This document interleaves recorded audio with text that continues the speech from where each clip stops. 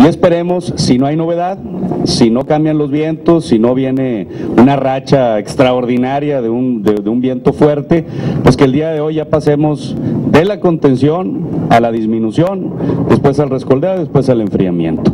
Insisto, no son más de 55, máximo 60 hectáreas las que se han afectado el día de hoy. No hay población civil que se encuentre en, estado de riesgo conforme lo que tenemos previsto. Bueno, no vamos a, a descansar, vamos a seguir trabajando para contener rápidamente este fenómeno. Si hay alguna